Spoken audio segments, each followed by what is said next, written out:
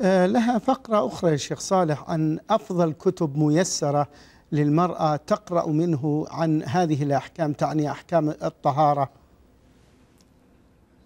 فيه كتب ميسرة مثل المختصرات في الفقه في أحكام الطهارة في أحكام الصلاة في أحكام الزكاة إلى آخر أركان الإسلام.